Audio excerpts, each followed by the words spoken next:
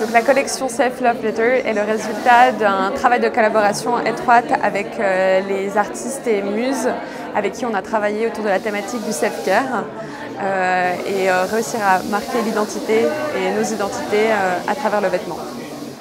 du coup, nous on a travaillé donc avec la notion du self-care et avec cette notion-là, développer des matières grâce à l'upcycling où la collecte elle prend beaucoup de place dans notre travail et du coup que c'est vraiment un moteur pour nous euh, de recherche et de création. Et du coup, on imagine plus un, développement durable qui se voudrait euh, poétique. Alors moi j'ai un lien un peu particulier avec euh, les machines Lorastar, par notamment mon papa qui a designé, qui a travaillé pour Lorastar il y a quelques années.